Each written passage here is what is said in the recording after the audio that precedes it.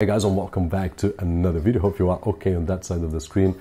And today, as far as I'm aware, with the cheapest mini computer that it's available to get Windows 11 and dual boot with Mac OS. This is the Chuwi Core. We have reviewed it here on the channel. I will leave some links right over here. But today we are going to see how to install Mac OS right over here. And before we do, this video is sponsored by cdkeysales.com where we have purchased quite a few keys for Windows 10 Pro, Windows 11 Pro and Office 2021. So if you are looking for a budget key to activate your Windows or Office, visit the link that I will leave down below.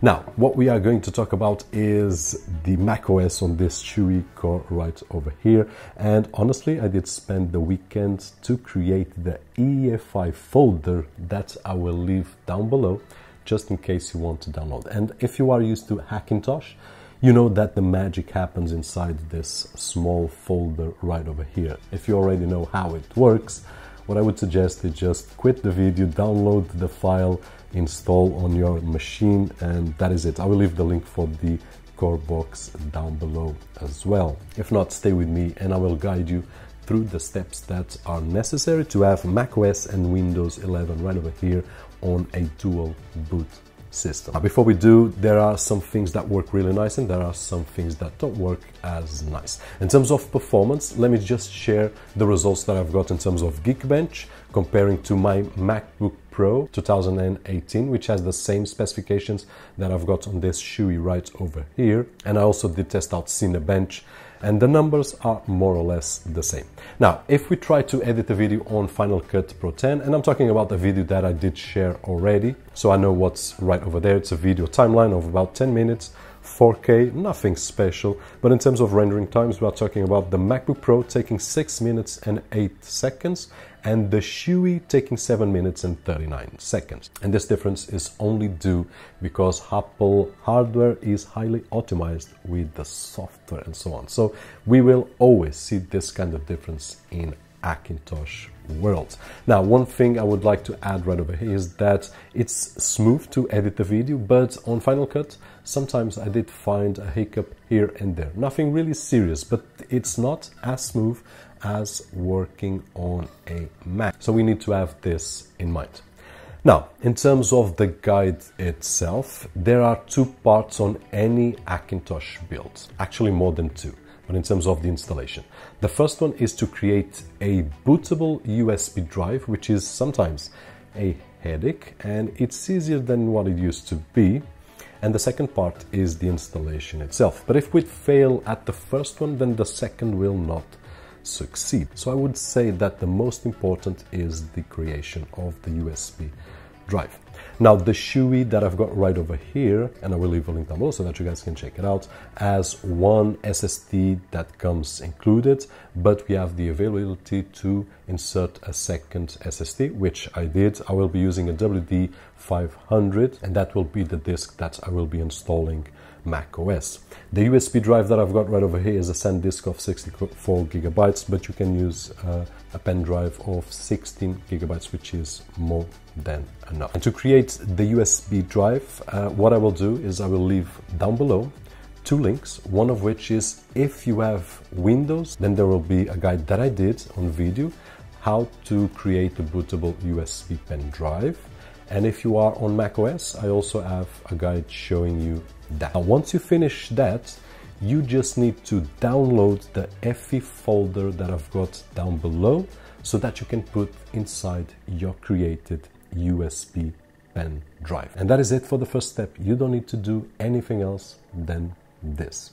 Sounds good? Great. Let's move on. Now, the next step is to put in the USB drive on the Chuwi core box. And once we do that, we are ready to reboot the machine. Now we will reboot the machine and by default it will boot through the USB thumb drive. Now we will choose um, the option of install Mac OS and then we will need to wait for the installation process until we see the first menu that shows us to select the language that we want. Now, once we do that, we will get into the menu where we will select disk utility and we will format the disk that we want to install Mac OS. Just pay attention here that you need to be sure which disk you will format so that you don't format the disk that has your Windows installation. Just pay attention, it's easy. Now, once we do that, we just go back and then choose the option to install Monterey. Then we need to select the disk. In my case, it's the WD500. And basically that is it. We will need to wait for the installation, which will take more or less 20 minutes on this part. And then it will reboot. And once it reboots, it will show the installer again. Uh, and it will say roughly 30 minutes, but it will not take as long. It will reboot once again and it will show a few lines of codes for a few minutes and then it will reboot again. So it will be three reboots right over here, but we don't need to touch anything. Once it reboots the final time, it will go to the configuration where we will need to select the language and some other options that will appear, the network, Apple ID, user and password and things. And after that, we will have the system ready as you are seeing right over here on screen, which is just awesome. Now we just need two more small steps to have everything ready. One of which is to be able to remove the pen drive and don't use for the boot. What we are going to do is to search and download Clover Configurator, or if I don't forget, I will leave a link down below. And then we will need to choose Mount EFI on our macOS disk that we did install. Once we have that, we will choose Open Partition, and as you can see, it will be empty. We will do the same with the EFI of our pen USB, so Mount EFI, and then choose open partition and you will see a folder which is the EFI folder that you did download and used on your USB pen. Now you are going to copy to the macOS EFI partition. Once that is done, close everything and we just need to shut down or reboot our computer. Once we reboot the computer, we will need to go to the BIOS and then on the BIOS, we will need to select our first boot disk, our WD500 or the Mac OS disk, which is the one that has the boot loader and it will enable us to choose between Windows or Mac OS. Now, after this, everything is ready you can start enjoying your machine the only thing that will happen is that if you reboot from windows it will remember and will reboot from windows it, and it will start with Windows if I don't press anything. And if I do reboot from macOS, it will restart on macOS. Nonetheless, we will have the boot menu every time and it will stay there for five seconds. So if I want to change from macOS to Windows, I can just uh, use the selector and that is it. So really easy and simple. Now, things that I would like to add right over here that did not work so well. One of which is the display. I was not able to use the HDMI output, only display port. Actually, I did use the HDMI, but I did have to remove the uh, graphics acceleration and the experience was not good. So the only solution that I got was to use over display port. And if you want to do you will have to do that. So just have in mind if your monitor has display port or not. And if not you will need a adapter. The other situation that i was not able to get working is the audio. So my solution at this moment is a usb audio. This is cheap on amazon. I will try to leave a suggestion down below. This is usb to microphone and audio output. Now, there is a solution because on all the tries that I did, I did end up having internal audio working for a couple of hours. But then, for some change that I made, which I don't remember, I did, I did a lot of tries, I did lose the audio. So at this moment, is not worth it.